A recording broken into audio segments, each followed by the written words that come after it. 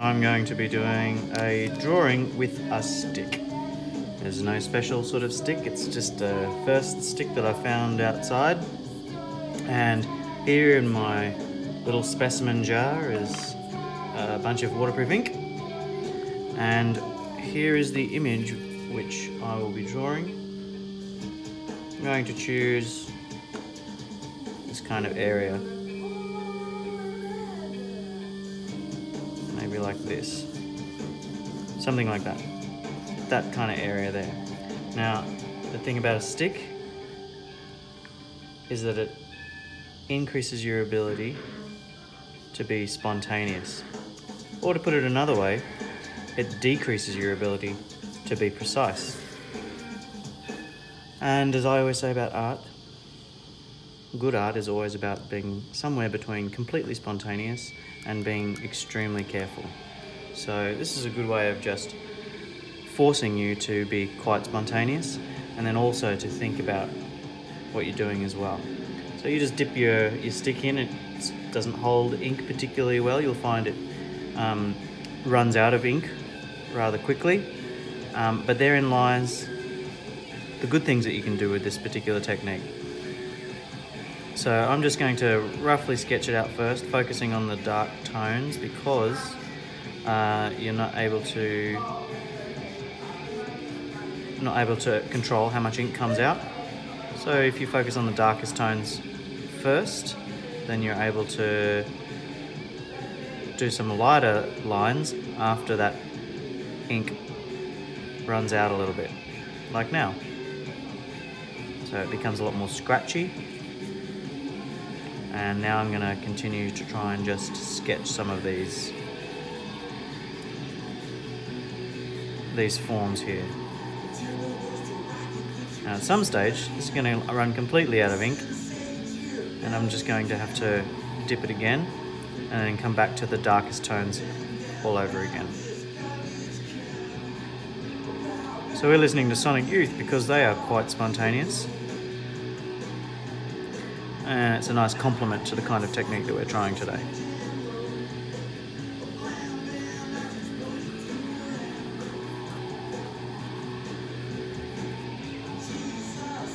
Okay, here we go. Back to our shadows. So I'm going to start to block in these shadows a little bit. Maybe this one over here too. I like to sort of jump between areas a little bit.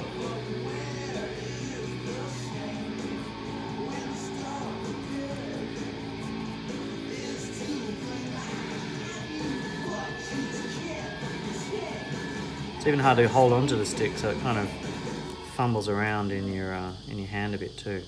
I'll work back into that blob that I had there. Now I might just do the shelf looking thing that's over here. Continue that one across.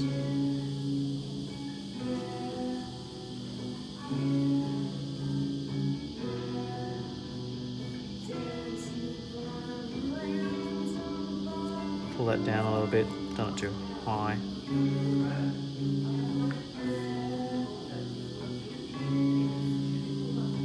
Get my dark shadows in now. Maybe a little stem there. What shape that did you do? It was a wave, wasn't it? Yeah, it was a wavy square. Maybe the edge of that there as well.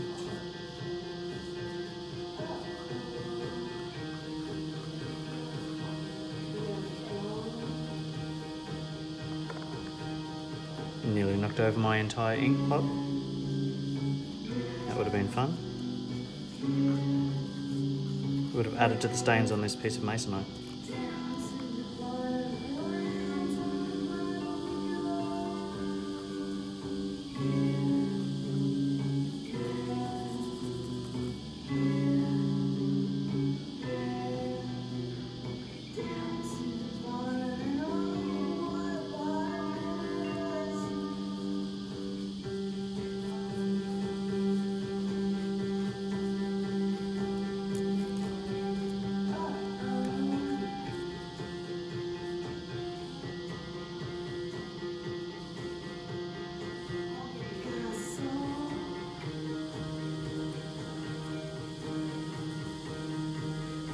I'm just working through this a little bit to try and get some of the darkest shadows sorted out on those grapes.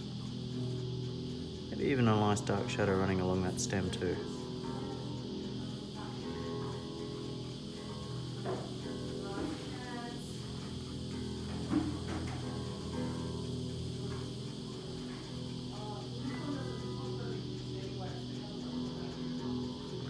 Those uh, reflections happening too, and the and the shadow that's being cast by those other two grapes on this one here. So there's another little glimpse at the uh, reference image that I'm working from. What I'm trying to achieve here is the shadows, the dark shadows here, there, there, and then later on I'm going to get the secondary shadows here, here, and the secondary shadows here and here and there.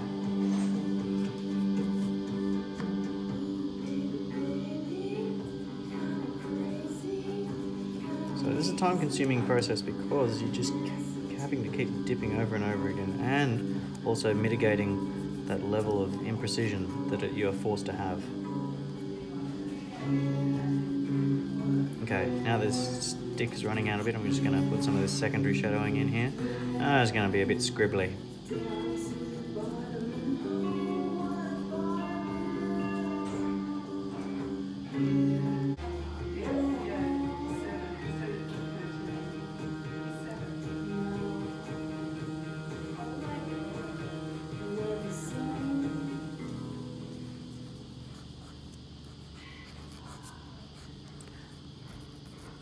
So you continue to get the idea here.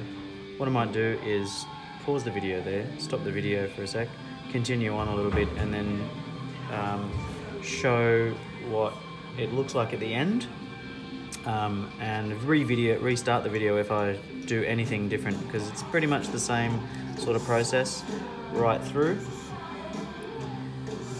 And you can see the sorts of lines that I'm choosing have to be loose and messy because um, because you just have to sort of get the ink off the stickers any way you can because it, it's uh, you just got to sort of rub it and scrape it like this and um, when you first dip it in there is no way of controlling the kinds of the kinds of lines that you're going to have. And that's part of the beauty of it trying to make order out of disorder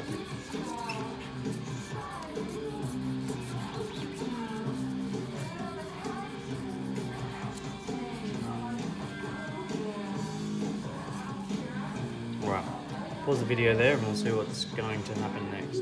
So what I'm currently doing is just putting a little bit of dark down there initially and then taking and just sort of letting the most of the ink come off the stick before I come up here to do some of the more subtle shadow work like this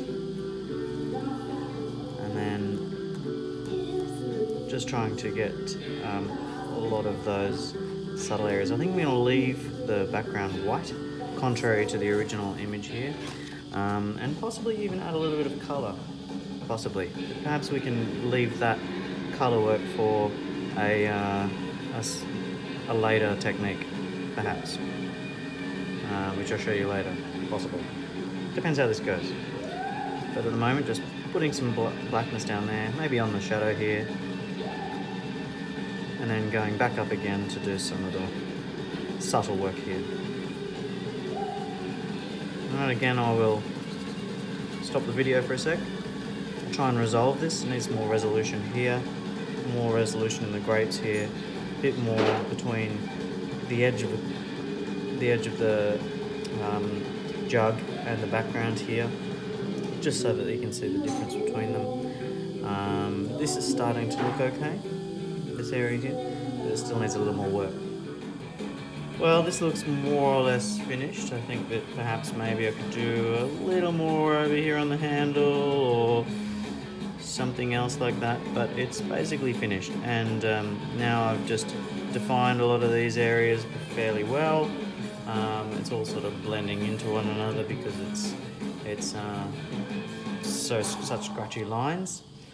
Um, but I think this is more or less do it. Later on, you may see this image again when uh, I demonstrate some stuff on utilizing photocopy work or um, perhaps adding color or revisiting this um, through other mediums.